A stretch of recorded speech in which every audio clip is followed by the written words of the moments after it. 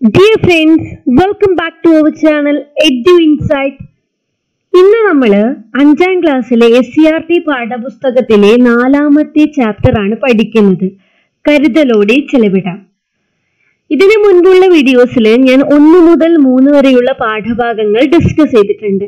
ആരെങ്കിലും ആ വീഡിയോസ് കണ്ടില്ല എങ്കിൽ പ്ലീസ് ഒന്ന് പോയി കണ്ടേക്കണേ. അതിന്റെ ലിങ്ക് ഞാൻ താഴെ ഡിസ്ക്രിപ്ഷനിൽ കൊടുക്കാം. അതുപോലെ എന്റെ ഈ ചാനൽ നിങ്ങൾ ആദ്യമായിട്ടാണ് കാണുന്നതെങ്കിൽ പ്ലീസ് ഒന്ന് സബ്സ്ക്രൈബ് ചെയ്തേക്കണേ.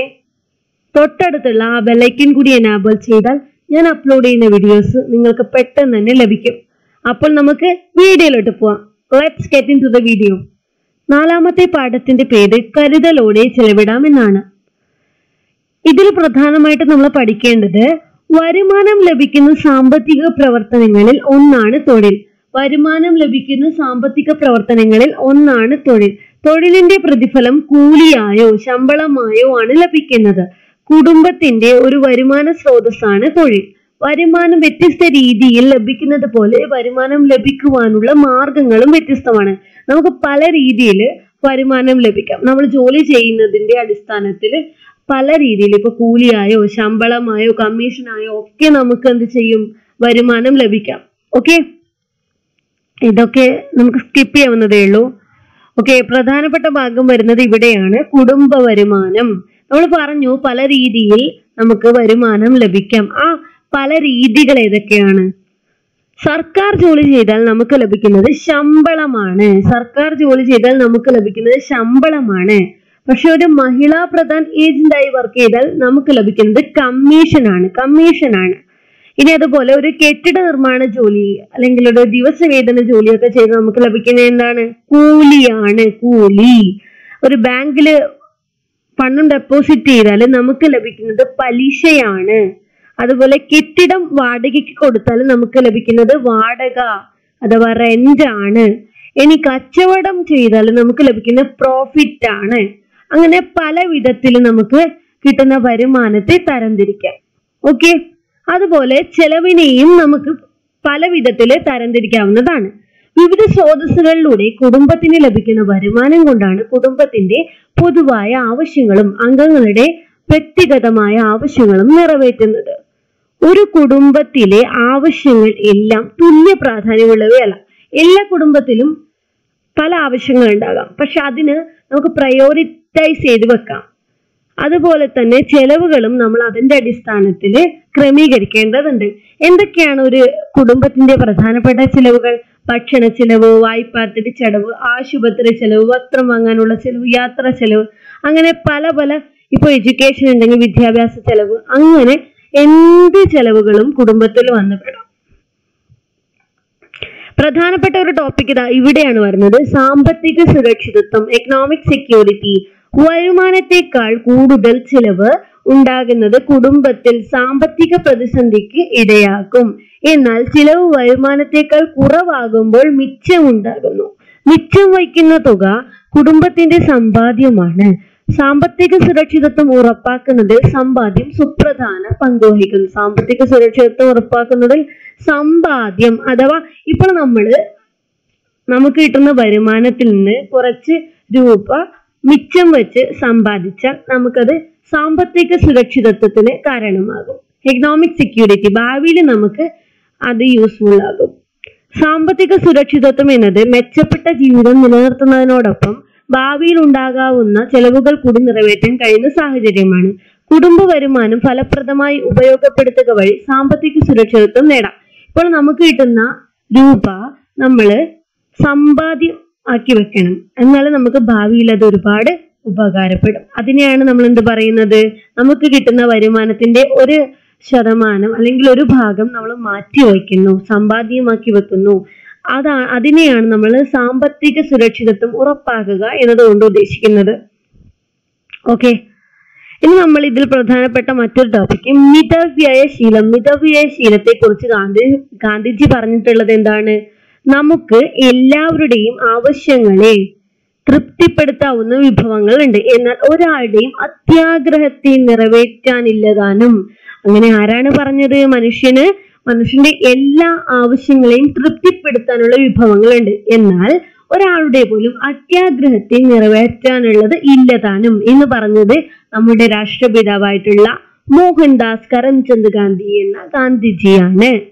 ഓക്കെ ഇവിടെ നോക്കുക. എന്താണ് മിതവ്യശീലം എന്ന് വ്യക്തമായി പറഞ്ഞിട്ടുണ്ട്. ആവശ്യങ്ങൾ നിറവേറ്റുന്നതിന് ഫലപ്രദമായി വരുമാനം ചിലവിടുന്ന സ്വഭാവ സവിശേഷതയാണ് മിതവ്യയശീലം.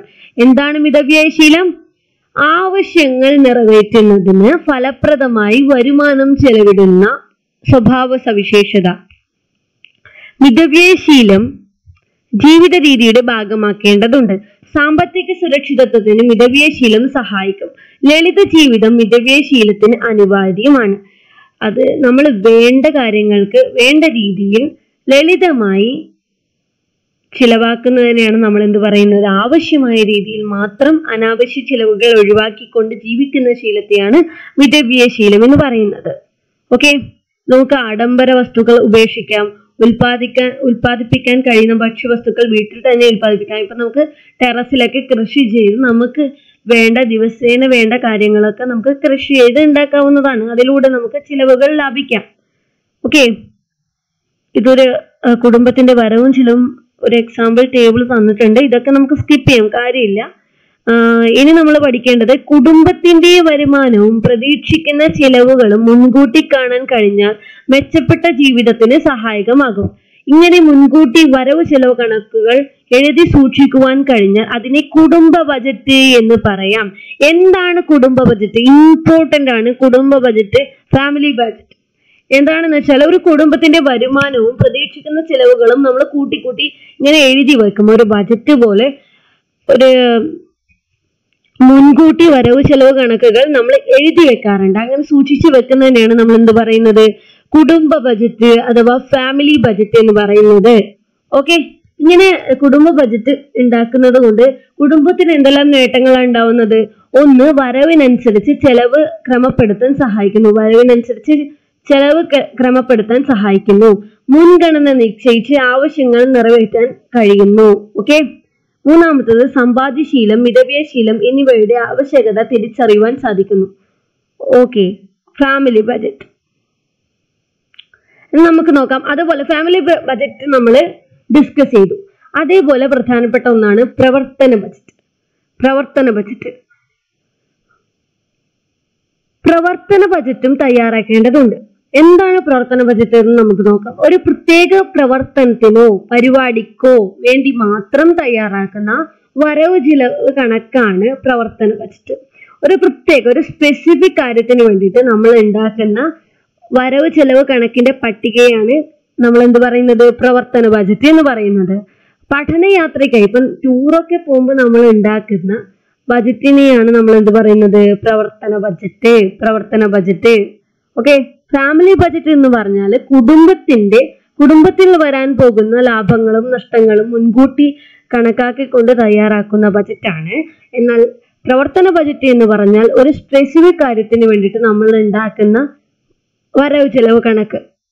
അതിനെയാണ് നമ്മൾ എന്ത് പറയുന്നത്? പ്രവർത്തന ബജറ്റ് ഓക്കെ ഇനി പ്രധാനപ്പെട്ട കാര്യം വരുന്നത് തദ്ദേശ സ്വയംഭരണ സ്ഥാപനങ്ങളായ പഞ്ചായത്തുകൾ മുനിസിപ്പാലിറ്റികൾ കോർപ്പറേഷനുകൾ എന്നിവയ്ക്കെല്ലാം ബജറ്റ് ഉണ്ട് ഇന്ത്യയിൽ കേന്ദ്ര ബജറ്റും സംസ്ഥാന ബജറ്റും നിലവിലുണ്ട്. ഓക്കെ കുടുംബ ബജറ്റിൽ നിന്ന് വ്യത്യസ്തമായി കേന്ദ്ര സർക്കാരും സംസ്ഥാന സർക്കാരും ചിലവുകൾ മുൻകൂട്ടി തീരുമാനിക്കുകയും അതിനുവേണ്ടി പ്രതീക്ഷിക്കുന്ന വരുമാനം കണ്ടെത്തി ബജറ്റിലൂടെ അവതരിപ്പിക്കുകയുമാണ് ചെയ്യുന്നത്. വാർഷിക ബജറ്റുകളാണ് സാധാരണ നിലയിൽ സർക്കാർ അവതരിപ്പിക്കുന്നത്. ഫിനാൻഷ്യൽ ഇയർ എപ്പോഴാണ്?